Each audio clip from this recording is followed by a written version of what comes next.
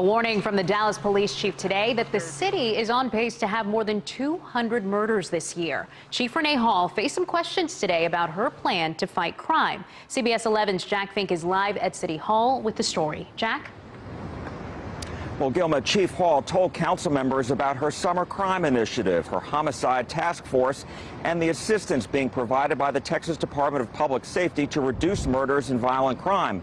But one council member alluded to what he said some people have come to believe, that Dallas has become soft on crime.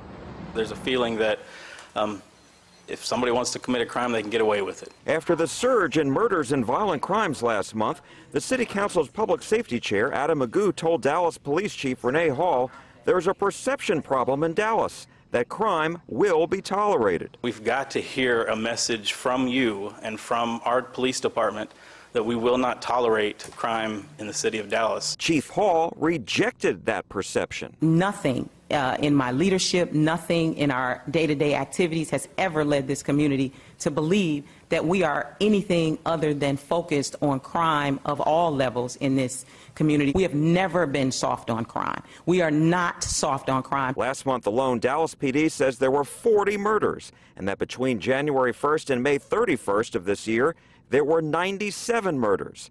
If the trend continues, the chief told council members the city could be on pace for about 228 homicides this year. Regarding the murders during the first five months of this year, 29 were related to an argument, 20 to family violence, 17 to robbery, and 8 were drug related.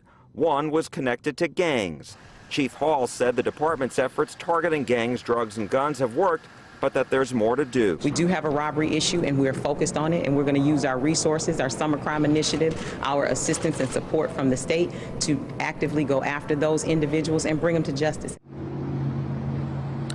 Also today, Chief Hall said that DPD does need more officers, and she said that she will presenting, be presenting council members with the findings of the department's staffing study in early August. She said today DPD has hired 137 officers so far this year, seven more than the same time period last year. But the problem is DPD is not keeping up with attrition. 158 officers left the department since this year. Live at Dallas City Hall, Jack Fink, CBS 11 News. Jack, thanks for the update.